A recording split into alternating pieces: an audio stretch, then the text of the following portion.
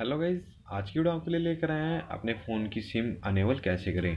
So guys video start करने से video को लाइक करें चैनल को सब्सक्राइब करें और बेल आइकन दबाना ना भूलें। सो गाइज़ वीडियो स्टार्ट करते हैं। तो गाइज़ आप देख सकते हैं, अभी हमारे यहाँ पे फ़ोन के नेटवर्क नहीं आ रही सिम के।